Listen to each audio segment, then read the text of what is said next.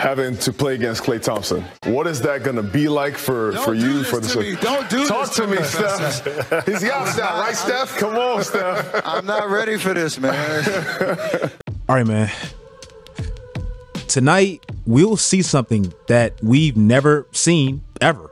Stephen Curry, Klay Thompson, and Draymond Green all on the floor together, but not all of them being teammates. In 2022, Steph, Klay, and Draymond, they won their fourth championship together. And it's safe to say everything went downhill from there.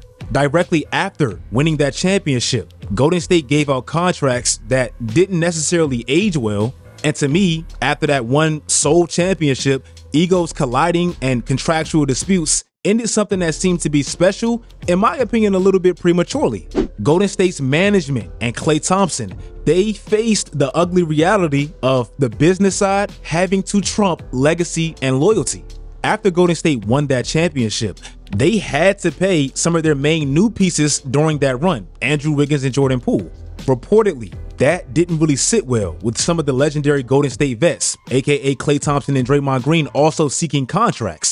Even after that championship year and how rough it was, mainly because of Draymond Green, they still got him paid. Klay Thompson reportedly wanted that exact same deal, but they just couldn't do it. In 2023, even through all his BS, Draymond was fourth in the DPOY voting, and look at his impact. Love him or hate him, that man means a lot to that franchise, and they recognize that and they paid him.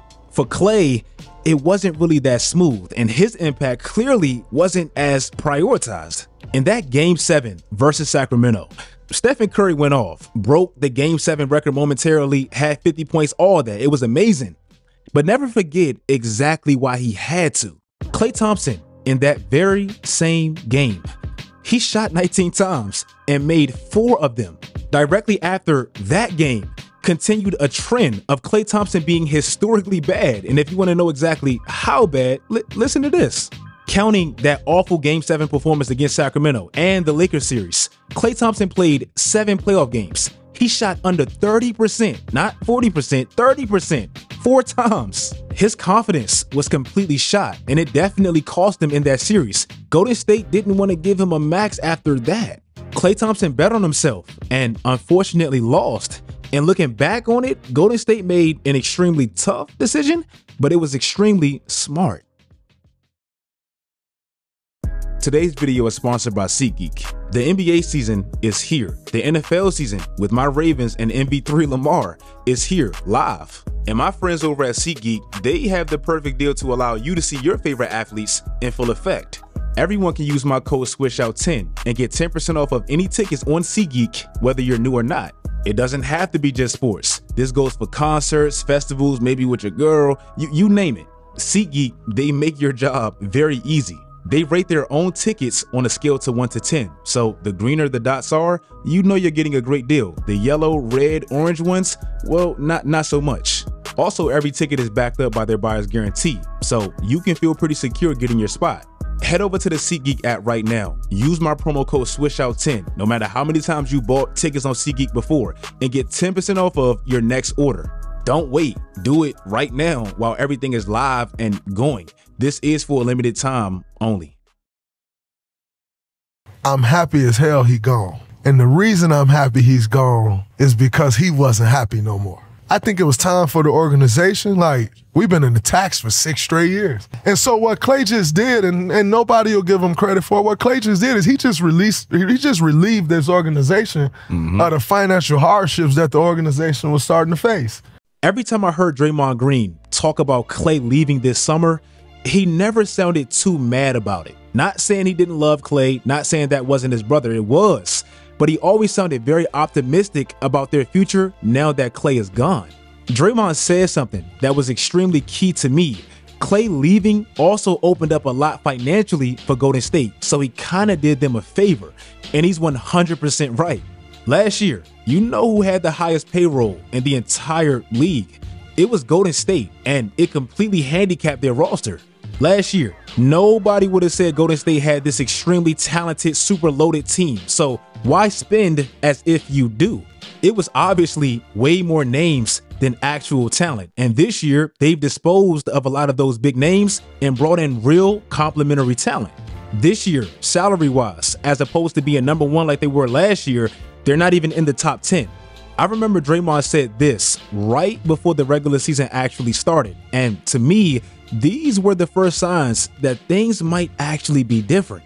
With Klay leaving, it almost felt like the mark of a new thing. Steve and he, Steve was killing us in camp. When you've done it as many times as we've done it, there's a feeling. You know what I'm saying? And I'm not saying we're going to go win a championship, but I am saying don't let us win another fucking championship. In 2022, Golden State went undefeated in the preseason and they ultimately won an NBA championship. This year, and I know it seems extremely irrelevant and silly, but they also did the exact same thing and they started out very hot just like 2022. Golden State just completed one of the toughest road stretches probably of the year and they went 4 and 1 at Houston without Stephen Curry, at Washington who is improving and they had the little Jordan Poole Draymond rivalry element at Boston. And I know somebody will say, well, they didn't even have Jaylen Brown. Well, do you know what Boston's record going back to last year was without the finals MVP? They played 14 games, they won all 14 of them. Golden State gave them that one L in two years. At Cleveland, who was undefeated and they have history, and eventually at OKC, and they lost Chet, but still, that that was an extremely tough stretch. Now, what makes this early stretch so impressive to me so far is what seems to be the complete 180 as to who they were last year and most definitely the year before last. The season after they won the NBA championship, for whatever reason, Golden State couldn't win on the road. It, it was the weirdest thing ever. Probably a little bit of age, chemistry, whatever. But if you look at their record, they were one of the worst road teams in the league. Last year, it completely flipped. They struggled at home.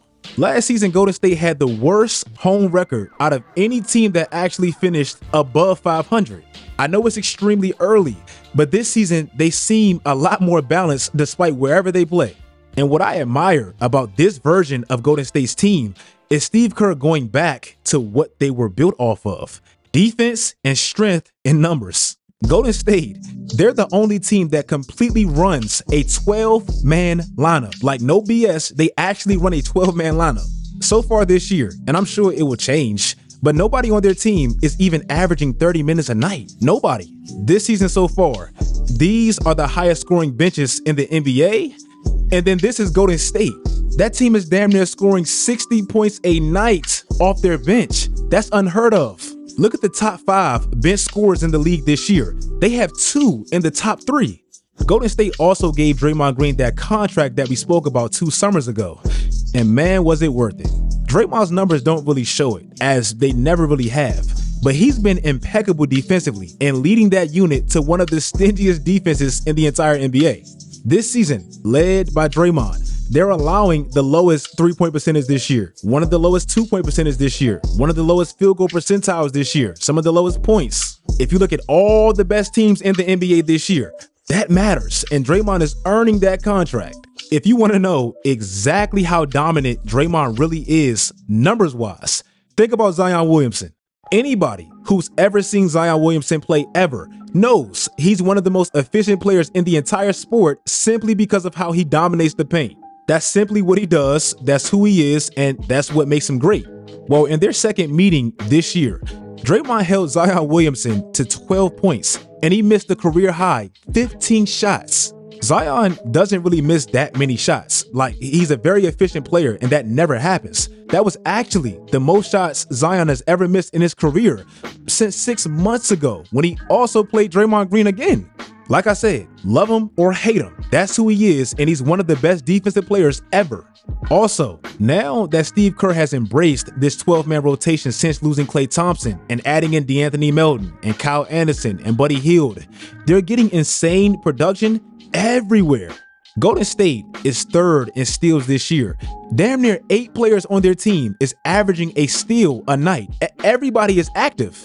Golden State doesn't even have a player over 6'9. Their tallest player is Jackson Davis, and they're leading the league in boards. That that's a winning ass stat. Kevon Looney, I know a lot of people forgot about him, but he's basically Dennis Rodman. This man is averaging eight boards in 16 minutes. If you convert that to per 36 to actually see his pace, he's averaging almost 18 rebounds a game in 36 minutes. Collectively, now without all the egos and all these stars and everybody having this specific big three, whatever role, they're all playing so well in whatever their role is. Golden State this year, they have five players all shooting 40% from deep. Their two best volume shooters, Stephen Curry and Buddy Hield, they're both top five in three point percentage with how many threes they shoot. No disrespect to Klay. He's an absolute legend, but he also shoots as many threes as those guys, and he's been one of the worst so far this year. Instead of giving all these max contracts to a bunch of guys because they had big names, they valued depth and defense and everybody buying into their specific roles. And so far, it's working. If you guys like this video, like this video, let me know in the comment section how you feel about this Golden State team. Are, I mean, are they real? Like, let, let me know. I feel like they are. Uh, follow my social media sites, turn on post notifications, do all that great stuff, guys. And until next time, as always, stay tuned.